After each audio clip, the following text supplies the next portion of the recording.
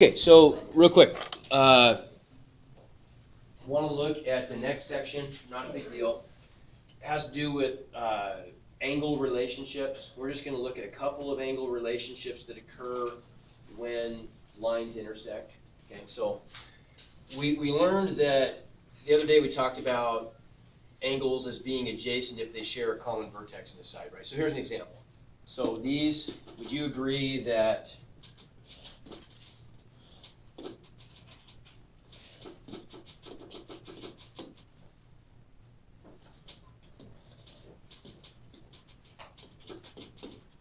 Somebody tell me, list two adjacent angles for me, please. Adjacent angles, so angle A, D, B, and angle BDC are adjacent, how come? Good, because they share the same vertex and they share a side, right? They share a side. Okay, good. Uh, so we're good with that. They have no common interior points, but they share they share a common side. We're gonna look at some other relationships. Okay, vertical angles. Do you remember what vertical angles are from years past? This look like a line. Kind of. They they they're angles formed by two pairs of opposite rays. An easier way to think about it, I think, is just to think about if you have two lines that intersect, then they form two pairs of vertical angles. So the opposite angles in that intersection are considered to be vertical angles, right? So if I label these angles, let's call this one angle one, that one angle two, angle three, and angle four.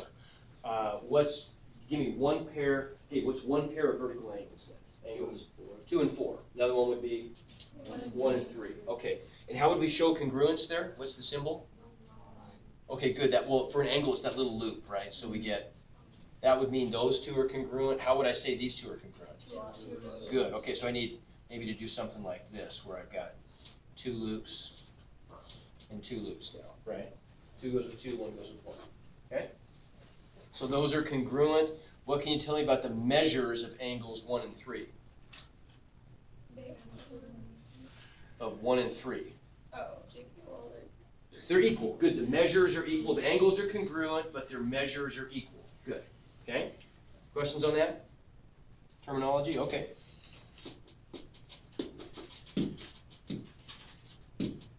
So, same picture we just drew. So, one and three are vertical angles, two and four are vertical angles. Okay? Uh, what about a linear pair? Remember what that means? If I look at this example over here again, can anybody tell me an example of two angles that form a linear pair? Just see if you remember. One and two. How come? You're right. Okay, because okay, because together they form a 180 degree angle, right? Okay, so it, essentially what it is is the opposite, the, the, the non-shared sides form a line. Does that make sense? So the, the, you know, this side, the shared side of angles one and two is this guy, isn't it? That's the shared side. The non-shared sides would be that side and that side, and together they form a line. So that's a linear pair, right?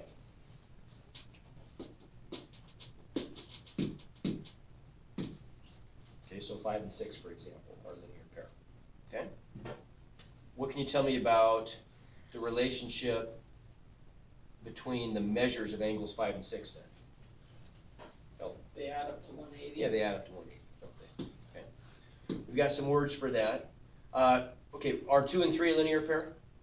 No, not right, because they don't form a line. Uh, what about one and two? Yes. Yes. What about one and four? No.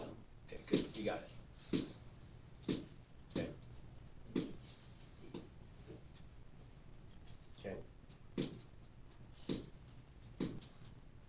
Are, okay, are one and three vertical angles? No. No? Mhm. Are there any vertical angles up there? No. Nope, good.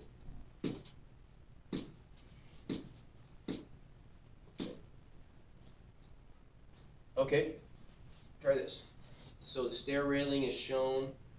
If angle six has a measure of one thirty, what is gonna be the measure of angle eight, Katie? What do you think? 130. What's going to be the measure of angle 5, Cassie? 130. No. What do you think? 6 is 130. What do those two have to add up to? 180. Oh, okay. So what's 5 then?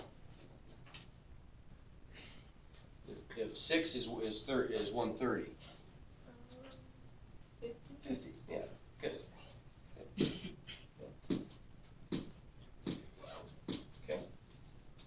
Seven, would be, yeah, I mean, we could find all of them, we could, okay. Uh, We got it. I think we got this one down, let's get through that. Uh, okay, so what about, what about this?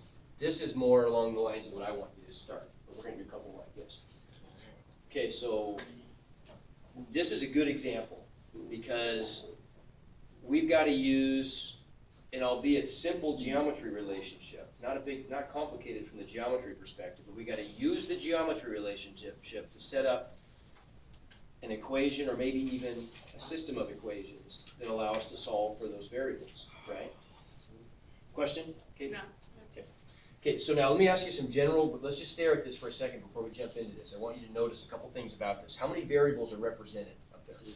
Two, right? Because I got x's and y's, two different kinds, right? X's and y's. Okay, so algebraically speaking, how many different equations would I need at the minimum to solve for both of those variables then? No, gotta have at least two. And this is a rule, you may not have talked about this in algebra, but this is something I'm gonna bring up again and again. This is one of the fundamental rules of algebra, is you need at least as many unique equations as you have variables in a system. Right, so remember back to what we did at the beginning of the year. Whenever we solved for x and y, we always had how many equations? Two, right? We had a system of two equations. If I had variables w, x, y, and z, which we'll do next year in Algebra 2, we'll solve some linear systems like that, how many equations would I require? At least four. And the thing about it is, those four have to be different equations. Like, for example, I just wanted to show you one thing here. If I have, for example, the equation two x plus three y equals four, and I have the equation negative four x minus six y equals negative eight, is that sufficient to solve that system? People are shaking their heads. I got two equations. Well, let's just see. Let's see, what would I have to do to solve this system? We've done a lot of this stuff. Okay, I, I could multiply the top one by two maybe, right?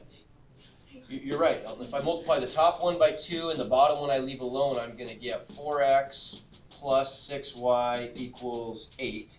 And the bottom one is gonna be negative four x minus six y equals negative eight. When I add them up, what happens? Everything cancels. I get zero equals zero. What's that mean? I got an infinite number of solutions, so that was not enough for us to pin it down to a single solution, was it?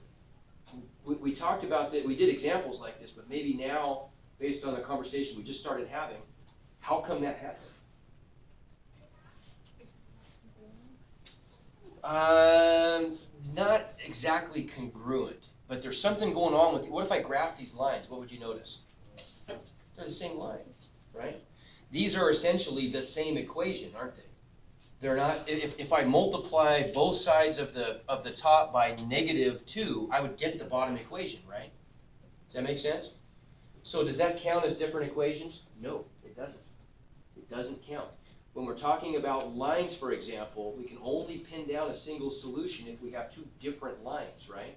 The same thing is gonna be true next year when we talk about linear systems involving four variables.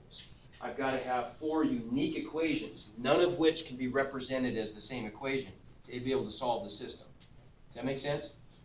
Okay, I'm looking ahead. For you guys, I wanna do this a lot. I wanna look ahead so you can kind of just see where you're going with this math.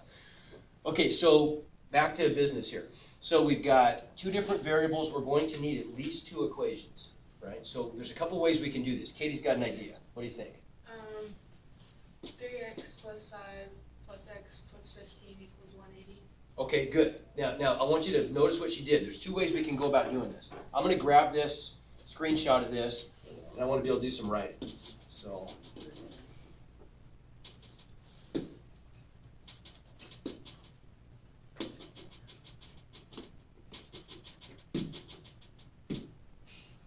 Okay, so she chose, I'm gonna kind of color code this a little bit. She chose to add up those two measures, and, and she saw that they, they were what? Angles E and, or angle AED and angle DEB are have what kind of relationship? Okay, say it again, a linear, what's, linear pair. So they add up to one eighty, right? Okay, that's good. So she said three x plus five plus x plus fifteen equals one eighty. Okay, we can solve that, right? Uh, if I combine like terms, what do I get? Four x plus twenty equals one eighty.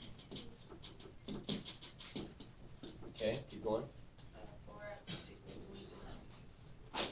If I subtract twenty from both sides, four x equals one sixty, so x equals forty.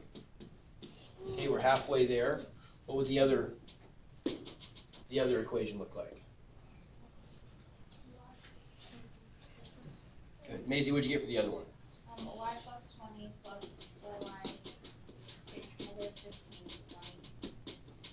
Equals one eighty, good. So if I combine like terms, what do I get? Five y Plus five. subtract five, Five y plus. Plus Thirty-five. thirty-five. Okay, we got it, right? That was a smart way to do it. Could have done it differently.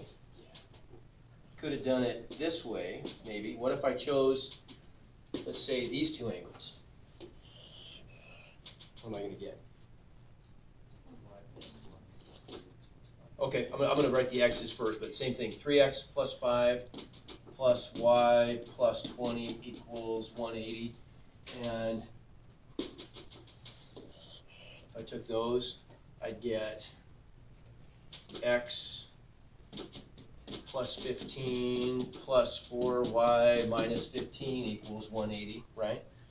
That's maybe not quite as good a way to do it, it's gonna work, but what's the problem? I have two variables in each equation. It's still gonna work, right? This ends up being, if I simplify this a little bit, it ought to look pretty familiar. What do I get here? If I combine like terms, I get twenty-five on this side and I can subtract it away. Would you agree I just end up with three x, this was be an arrow, three x plus y equals what, one fifty-five? And down here, I'm gonna get what, x plus four y equals one eighty? So I could solve that. I mean, we, we did a ton of stuff like that earlier in the year, right? It's a linear system. But it's maybe not quite as good an approach because I've mixed my variables, right? This may seem like a pretty simple thing, but later on, uh, you guys are hoping are all gonna go do big things in math, and later on, you're gonna be doing classes in college, if you continue with math or physics or engineering, called differential equations and partial differential equations, and this same kind of thinking on a much more complicated level pops up. You wanna always try to separate variables in your systems if you can. That's, I mean, Katie intuitively did that, it was a smart way to do it. Okay, so, good, good, good. Here's what we did. Good. You can, you can go back and look at this later if you want to. Okay, so then, what if we wanted to find like the measure of angle AED, what could we do? Yeah, good, we could just plug in that value of x and end up coming up with that angle measure, right? Okay, no biggie, okay?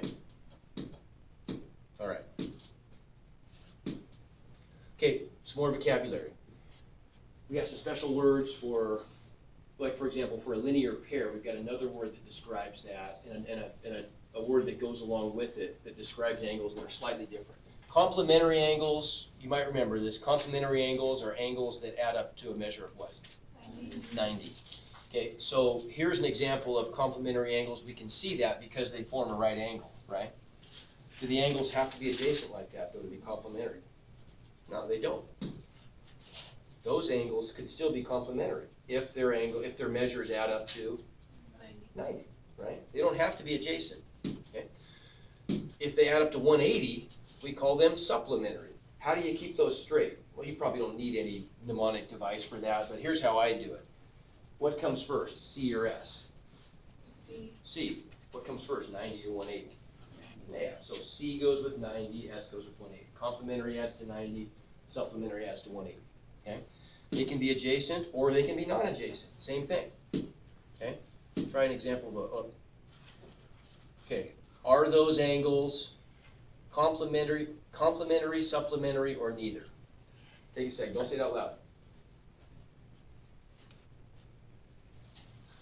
What do you think? Emma, what are they? Huh? Are they complementary, supplementary, or neither? What do you think? supplementary. Supplementary, because they add to hundred and eighty, don't they? On a clock, you can see that pretty easily. Twenty minutes plus ten minutes adds up to thirty minutes, which is, that's, you know, hundred and eighty degrees, no big deal, okay? Okay, so if A is the complement of C, if A has a measure of forty-seven, what's C?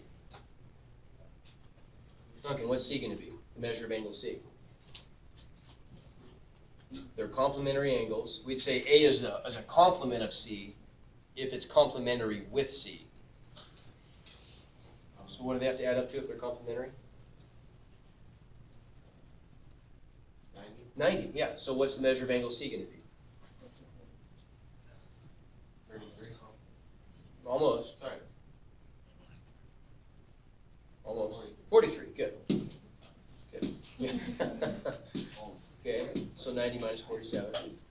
Okay, if P is a supplement of R, R has a measure of thirty-six, Lily, what's gonna be the measure of angle P?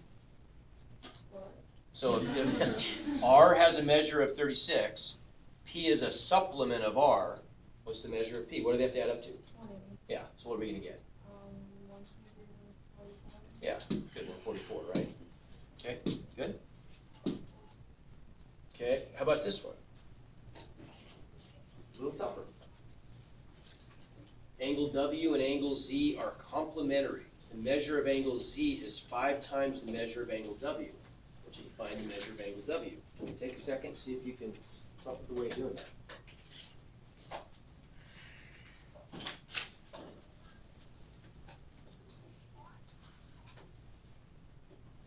This is a good problem because it's forcing you to have a story problem You gotta take this situation, and your job is you wanna convert this into an algebra equation that you can solve using algebra. Shift into algebra mode because you're good at algebra.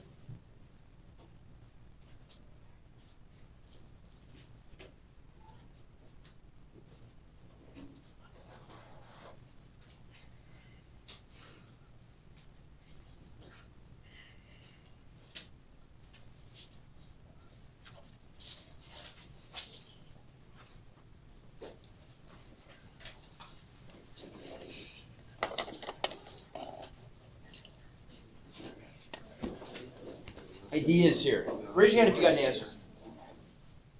Okay. Megan, what'd you get? Fifteen. Okay, now let's talk about, everybody get fifteen that got an answer? Okay. No? Okay, some yes, some no. Let's talk about how, how we can do this though. What might we do in a situation like this? How do we approach a story problem like this? We wanna turn it into an algebra expression.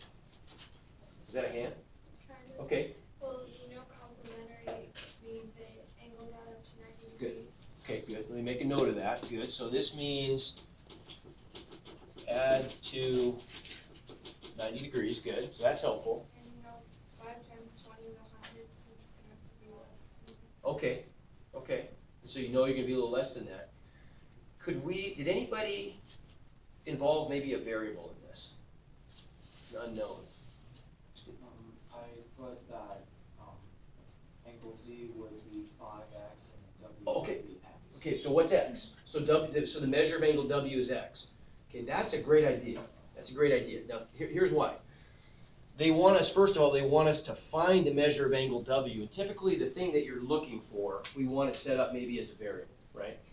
Uh, this is an important statement. If the measure of angle Z is five times the measure of angle W, then we'd like to set up the measure of angle W as being an unknown, right? That, we're gonna, we're gonna set that up as X. So, and I'd like you to write this down. This is a good thing to do. So X equals the measure of angle W. If that's true, how do I say that statement then? What is five times the measure of angle W if X represents the measure of angle W? Five X, right? So all of this stuff just becomes a five X. And so I know that the, that the sum of those has to be ninety, so I end up with five X plus X equals ninety. Now it's easy, right? Now we've turned this into an algebra problem, and it's an easy algebra problem. We can shift into algebra mode, get an answer, and then shift back to geometry mode and interpret it, right? So what do we do to solve this? Real simple. Combine like terms, so six x equals ninety, divide by six, and x equals fifteen, right? So now they wanna know what's the measure of angle W? Well, it's x. What if they asked instead, what's the measure of angle Z? I'd plug it into five x then, right? And and get that, does that make sense? Not a hard problem, but I, but the process is what I really wanted you to latch onto there. Okay?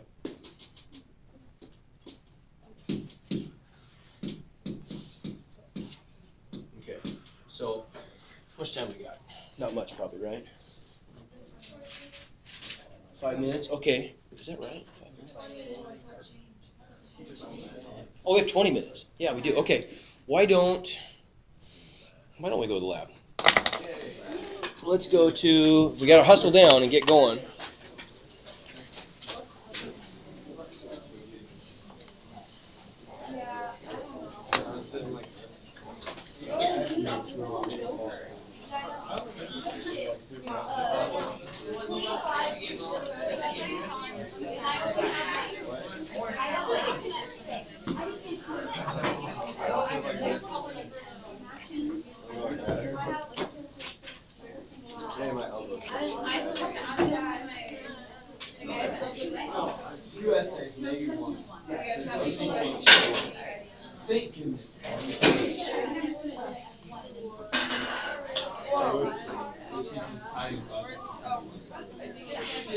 Okay, let's go two oh nine. One.